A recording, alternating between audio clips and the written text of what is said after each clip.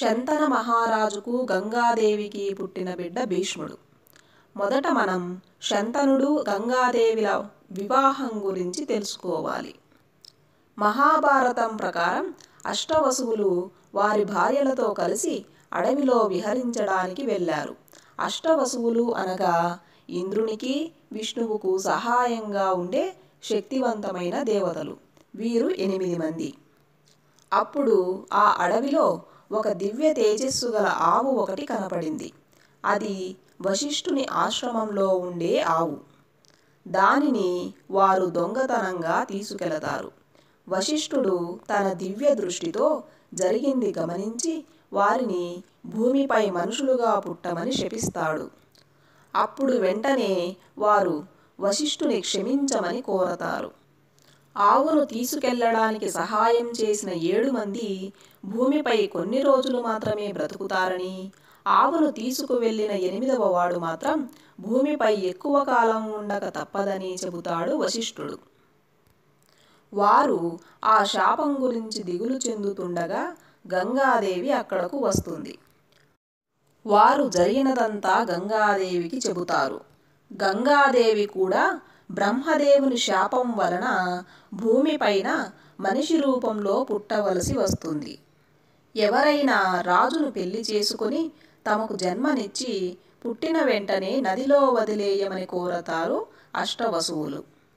గంగాదేవి దానికి ఒప్పుకుంటుంది.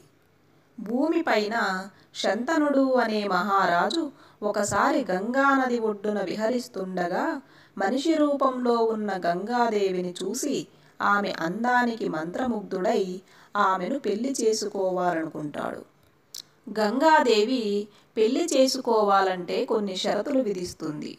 పెళ్ళి తర్వాత ఆమె ఏం చేసినా ఎందుకు ఏమిటి అని అడగకూడదని అలా చేస్తే మాయమైపోతానని చెబుతుంది. శంతనుడు దానికి ఒప్పుకొని పెళ్ళి చేసుకుంటాడు. పెళ్ళైన కొద్ది కాలానికి వారికి ఒకరి తరువాత ఒకరు ఏడు మంది మగపిల్లలు పుడతారు. ఆమె పుట్టిన ప్రతి బిడ్డను నదిలో పడేసి వస్తుంటుంది. శంతనుడు ఆమెకు ఇచ్చిన మాట ప్రకారం ఏమీ అడగకుండా మౌనంగా ఉండిపోతాడు.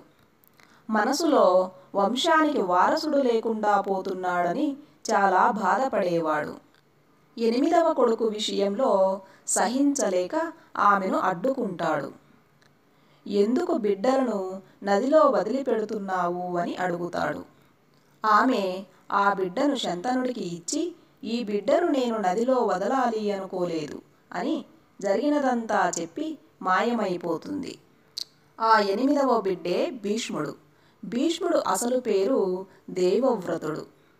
భీష్ముడు పెళ్ళి చేసుకోకుండా బ్రహ్మచారిగా ఉండిపోతానని చేసిన భీష్మ ప్రతిజ్ఞ వలన ఆయనకి భీష్ముడు అనే పేరు వచ్చింది.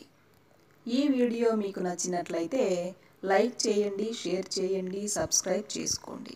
సబ్స్క్రైబ్ చేసుకుంటే నేను పెట్టిన ప్రతి వీడియో మీకు నోటిఫికేషన్ వస్తుంది.